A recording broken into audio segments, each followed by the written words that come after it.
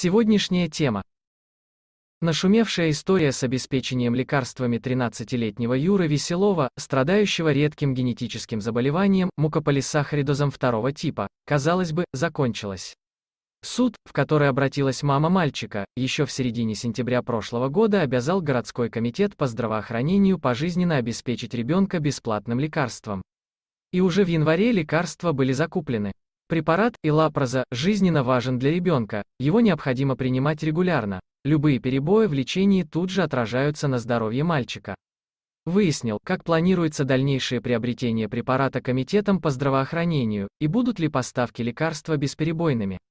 По словам начальника отдела лечебно-профилактической помощи матерям и детям Анатолия Симоходского, на январь-февраль мальчику закуплены необходимые лекарства на сумму 4,9 миллиона рублей, а на следующие два месяца объявлен новый конкурс. Учитывая, что на дворе уже март, а для проведения конкурса и последующих закупок потребуется время, вопрос о своевременном поступлении лекарства остается открытым. Нас обязывают постоянно проводить конкурсы на препарат и лапроза, хотя у него всего один поставщик, московская фирма, оправдывается Анатолий Симоходский. А закупать препарат на целый год мы не можем, так как на его приобретение распоряжением председателя комитета решено выделять средства, вырученные от экономии при проведении конкурсов по закупкам льготных лекарств.